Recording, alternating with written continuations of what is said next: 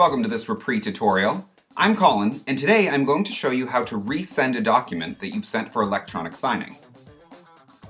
Click on your client, the transaction, and then come into that document for electronic signing. Click Edit Signing Session, and then Edit Session. Next to the client's name who currently has the document for electronic signing, you will notice a Resend button. Click here, and your document will be resent to your client. For more tutorials, please visit our support page, or click on the green Help tab, and one of our agents would be happy to assist you.